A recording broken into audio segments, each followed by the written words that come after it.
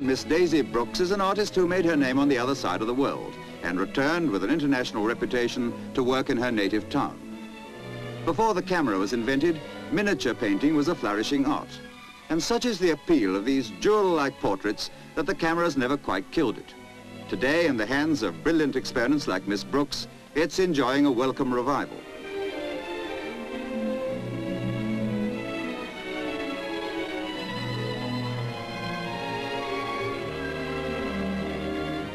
Miss Brookes paints on ivory, the ideal surface for this delicate work.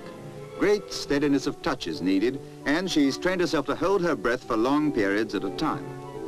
A portrait takes about 16 hours to complete, and when she's painting from life, which she prefers, she requires three sittings of about an hour and a half each. Children, being naturally restless sitters, are a great problem, and usually have to be painted from photographs.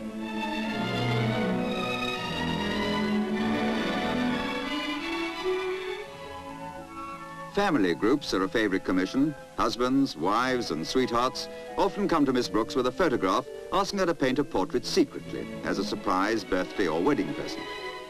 For the portrait miniature is essentially a personal treasure, surpassing in its own way both the conventional camera study and the big formal canvas. An art that has found new life because it has something unique to offer.